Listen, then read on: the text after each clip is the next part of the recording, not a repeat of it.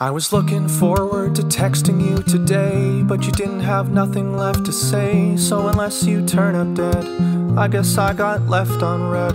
Thought that we were vibing, cracking jokes about your family, about your folks. I wanted to meet them, we'll go on and on and on. How you're so awesome, amazing smile, rocking like a crocodile. She's a she's a major cinephile. I hadn't met one in a while, but no.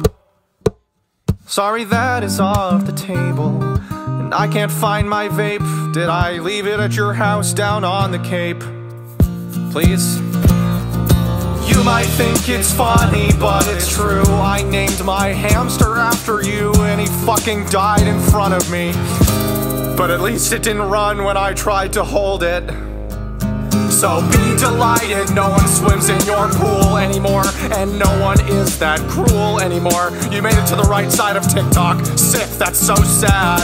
I am daddy's prima donna. Invest your earnings in my trauma. Stock goes up and things get better when both of us are dry, not wetter. So, oh, oh, fucking hanky panky. Ain't it fun when everybody underneath our yellow sun absolutely hates your guts?